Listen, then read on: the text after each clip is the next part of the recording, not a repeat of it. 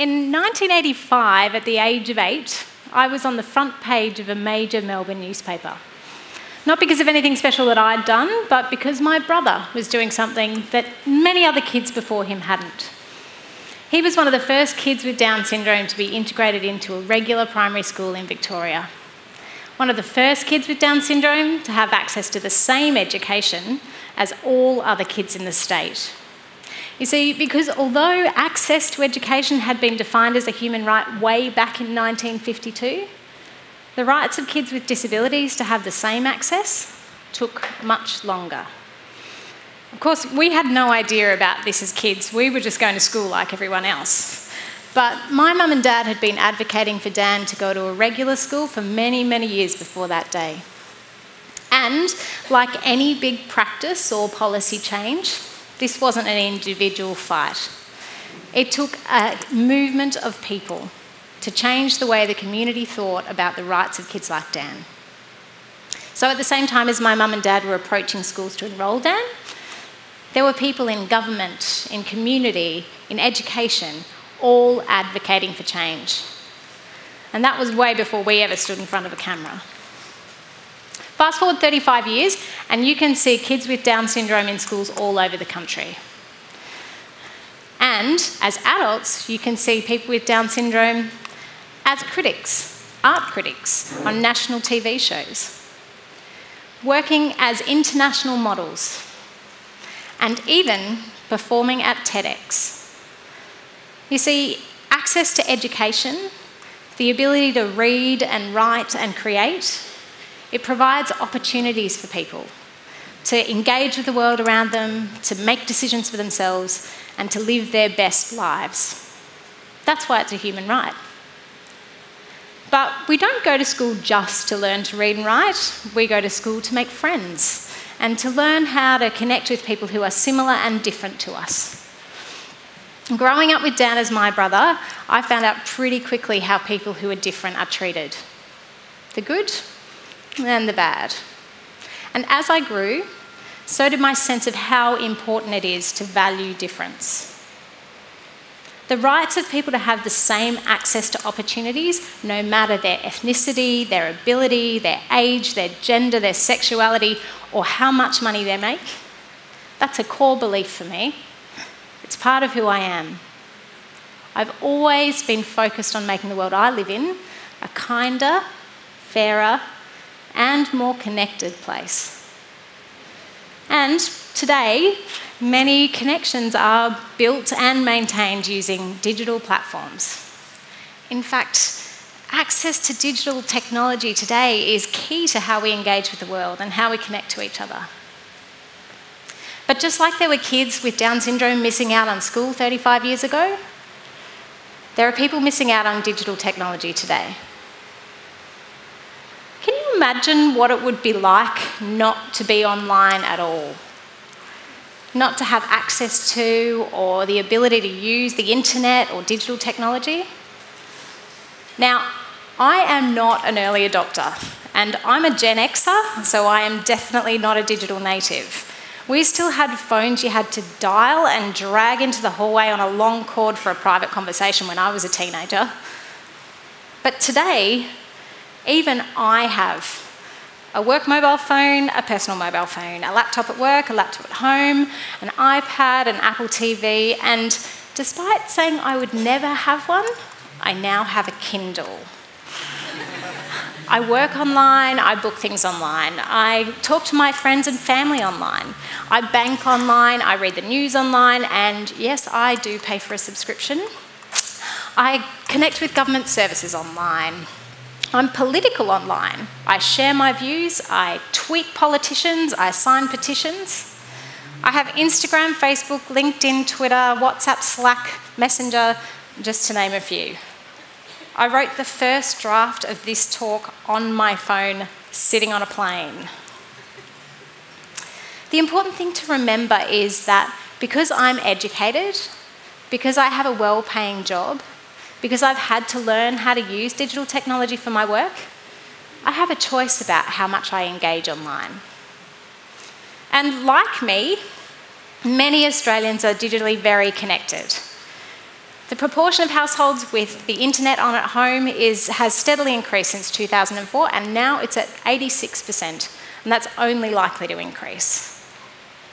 In fact, Australia's digitally empowered consumers spend 6.8 hours a day online. So, for most of us, we're thinking about how to ma make sure that we're spending time offline as well as online. That we, you know, balance and make sure we focus on um, connecting with each other face to face and with nature, as well as through a screen. But there is another Australian story. There are currently two and a half million Australians who are not online.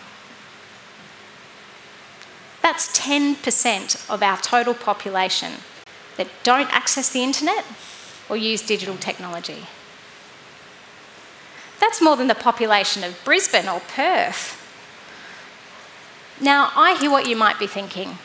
Maybe that's a choice people have made. Maybe it's good to not be so dependent on technology. But for most of these people, this is not a choice that they've made. You see, to have a choice about how much you engage online, you first need to have access. There are some families in remote parts of our country that drive four hours to get to the closest internet connection so their kids can do their schoolwork. You also have to be able to afford it because although digital technology is everywhere, it's not cheap. So if you're on Newstart at $272 a week, once you've paid rent and bought some food, there's not much money left for anything else, let alone an internet or phone bill. You also have to have the ability to use it because, like any skill, you need to learn it. So if you've never been taught or had the opportunity to engage with digital technology in your day to day life, then it can seem baffling and even a little scary. So, if you have access, you can afford it, and you have the ability to use it, then you have the opportunity to decide how much you engage online. You're digitally included. But digital inclusion is not just about computers and the internet. It is definitely not about whether you use Facebook or Netflix or whether you prefer Apple or Android. Digital inclusion is about how you use digital and online technologies to improve your life. You use it to further your education. You use it to apply for a job. You use it to better understand and manage your health. You use it to book appointments, tickets, accommodation. You use it to connect with others. You use it to interact with government and essential services. You use it to get yourself around the city, around the country, or around the world. Not being able to use digital technology today is like not being able to read and write. It creates barriers to how you engage in the world. And with the significant role that online technology plays today, the internet is not a luxury, it's a necessity. Now, I want you to think, I, I, challenge you to think about ways that you engage in the world of work and life today that doesn't include digital technology. The rights of people to have access, the, the it's significant way that in technology is engaged in our world today, the access to it and the rights, the access to it and the ability to use it is becoming a human right. I want you to imagine for a minute that you are 50 years old and you live in a regional, rural Queensland town.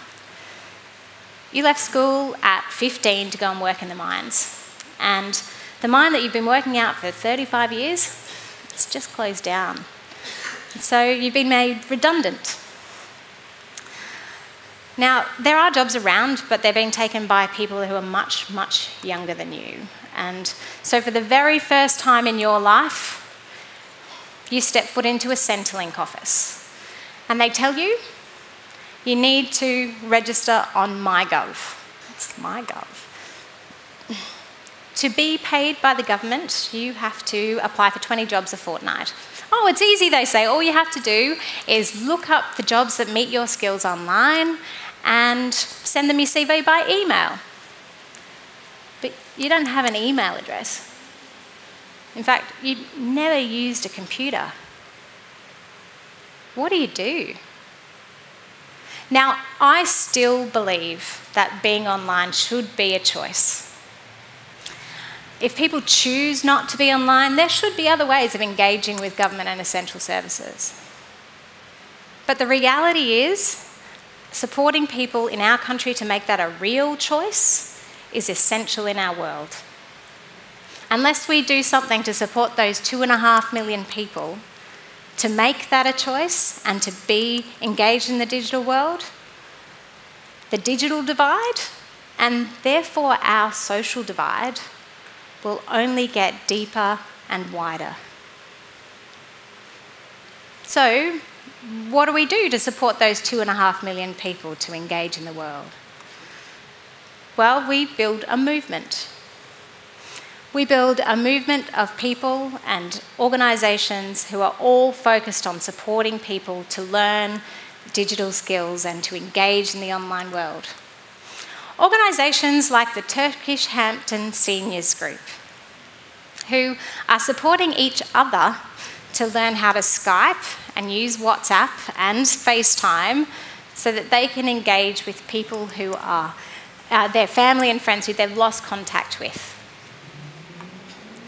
People like Woorabinda Youth Centre, who are supporting their older, their older people, their elders, and their young people to create art online and then share it with the world. Like Bankstown Aged Care, who are using Google Home to help people with dementia find music that makes them dance. Like the Langwarrin Men's Shed, where men can go and have a chat and have a cuppa and, and do some woodwork, but now also learn how to email and stay in touch. You see, the people who are missing out on the world today who are not online, they're also the people who are socially excluded in our world. They're the people who are, who are older, they're poorer, they are more likely to be Indigenous, they are less likely to be, have long term employment, more likely to have a disability, and less like, are more likely to, have, um, to be dependent on government services to survive. But I want to tell you now another story about my brother Dan. In 2017, my partner and I decided that, work, that life was too short to focus on work alone, and so we were lucky enough to scrape together enough money to take off and travel the world. Because of the digital technology available to us, we uh, were able to stay in daily contact with Dan using WhatsApp. Every morning I would wake up, no matter where we were in the world, and there would be a message from Dan saying, Where are you today? Please send photo or video.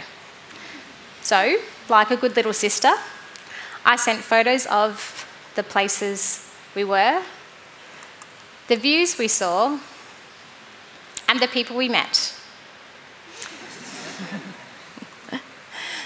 you see, Dan's not really, uh, he's got some health issues and he doesn't really like long plane trips, so he's not likely to go on a trip like that. But because of the digital technology, it felt like he was with us. I had no idea what sending his, him these images would lead to. You see, Dan is an artist. He's been painting since he was a teenager. And when we returned from our trip, he had a surprise for us. He had been painting all of the destinations we had sent him on WhatsApp. See, the digital technology kept us connected. But because of that, he was able to create his own unique journey, vision of our journey. In 2018, we walked into a gallery full of Dan's artworks of our journey. Not only that, but family and friends flew in from all over the country to Toowoomba in Queensland to be at the opening of the exhibition. So the digital technology kept us connected. But the end result was human creativity and face to face connection. And yet again, because Dan is amazing, we made the front page of the paper. For Dan, he's using technology to live his best life, despite the fact that people with disabilities are often digitally excluded. He uses his smartphone to stay in touch and to check the footy scores and the weather. He uses a computer to manage our family and friends' footy tipping competition. He uses an Excel spreadsheet and he sends us emails if we've forgotten to put our footy tips in on time. And with a little help from a web developer, he has recently launched his artist website. So, Dan's not being left behind. He's using technology to stay connected to the people he loves and to spur on his creativity. He's digitally included. And that is a right that everyone in our country should have the right to.